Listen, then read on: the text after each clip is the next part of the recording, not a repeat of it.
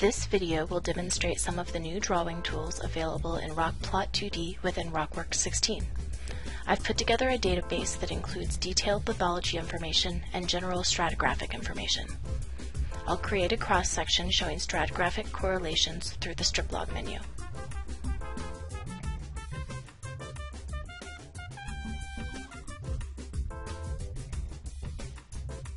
Rockworks 16 includes three new snapping tools that can be used when drawing cross-sections or other types of diagrams. First, Smart Snap vertices are added to cross-sections at lithologic and stratigraphic contacts within the boreholes. When drawing a line, polyline, or polygon, you can snap to these vertices by clicking on Control and Shift on your keyboard.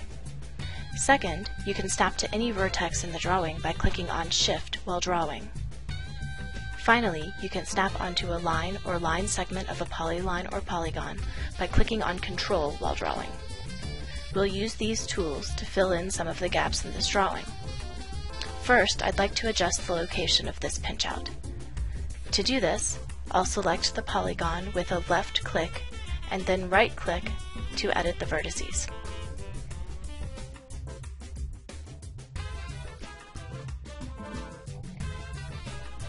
Next, I'll complete these lower units by drawing polygons using the Smart Snap and Snap to Vertex snapping options.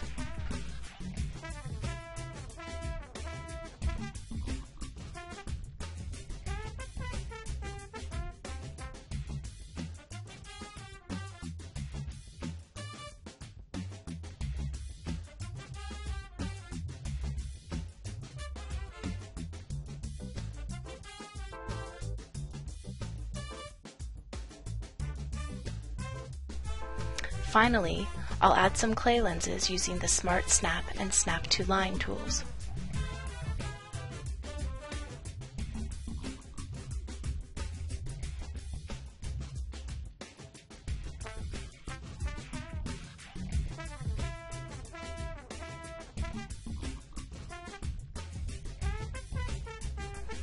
Remember to refer to these tips posted at the bottom of the Rockplot 2D window when you are in draw mode.